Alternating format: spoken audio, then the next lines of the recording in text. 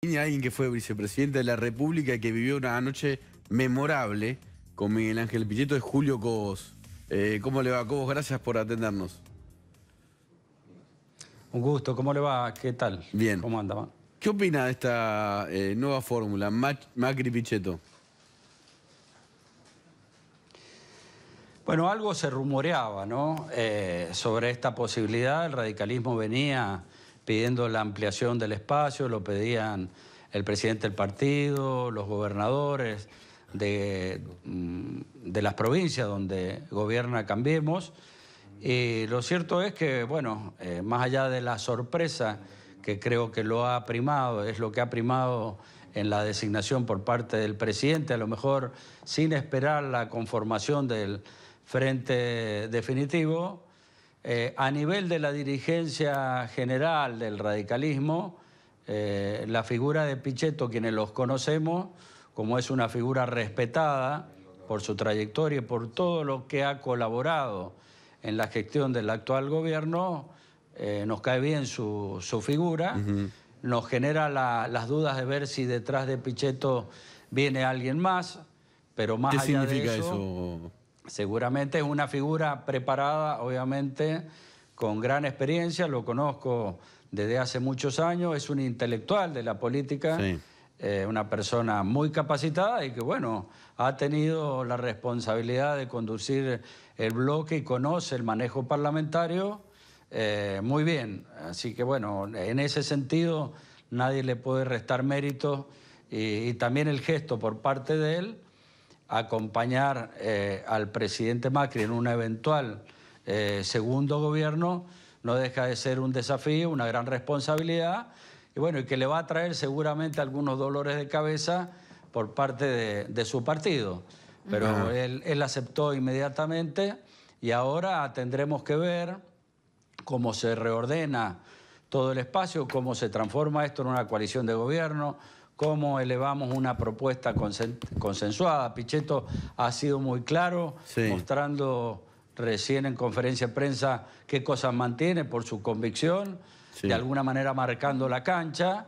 Y no, no ha cambiado de opinión en los temas, inclusive con el tema de desafuero, que sabe el que desafuero de Cristina por ahí posturas distintas con nuestro espacio. ¿no? Pero así se gobierna una coalición, ¿eh? con un pensamiento común, y lo que sí va a encontrar seguramente en el presidente de la Nación la capacidad de diálogo, la, eh, ver y entrar en razón cuando alguna acción política que tome puede ser de alguna manera eh, contramano de, lo que puede ser una buena decisión política y esto le va a permitir a los dos, digamos, la posibilidad de, gobernar en conjunto, una relación de dos.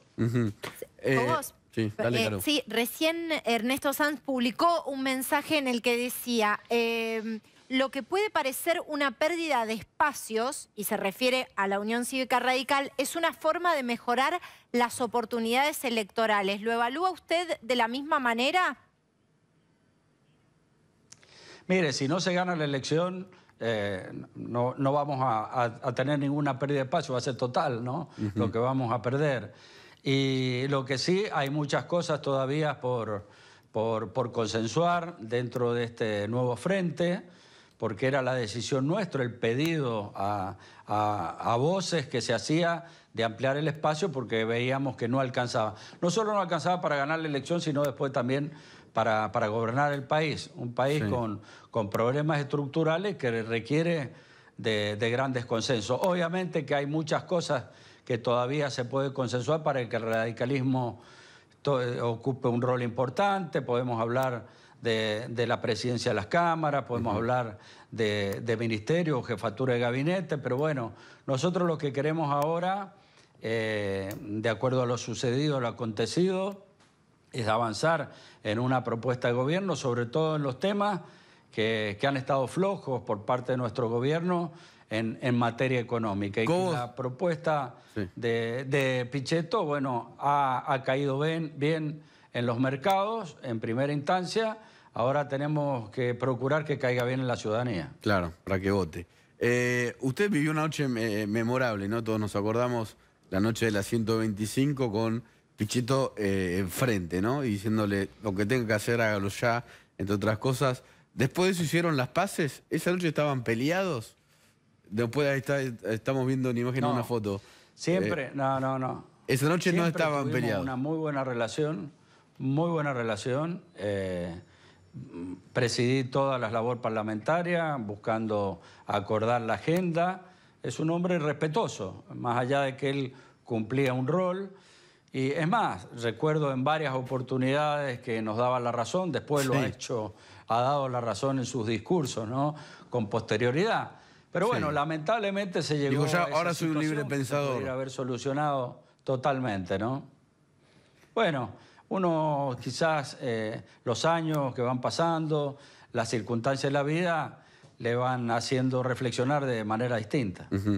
Eh, ¿Usted cree que va a tener una vice... Si ganara, ¿no? Si ganara la fórmula Pichetto, eh, Macri, Macri, Pichetto, ¿va a tener una relación presidente-vicepresidente eh, más calma, armónica que la que usted tuvo con Cristina Kirchner?